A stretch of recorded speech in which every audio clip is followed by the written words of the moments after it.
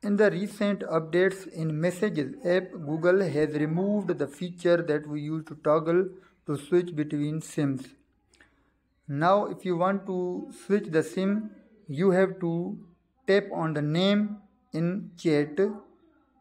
Then from here you can switch between two SIM, whatever you like.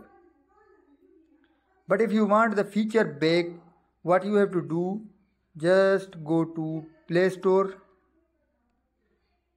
search for the messages app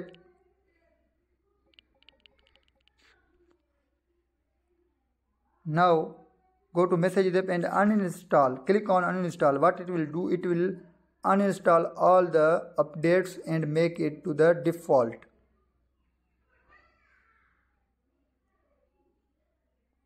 Now when you open the messages app